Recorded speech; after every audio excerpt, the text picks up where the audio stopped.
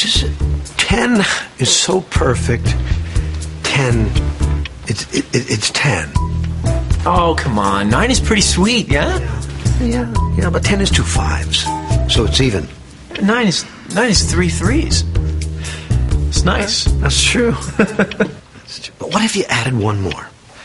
So that's 10. It's ten. It's it's not it's not nine anymore. Exactly.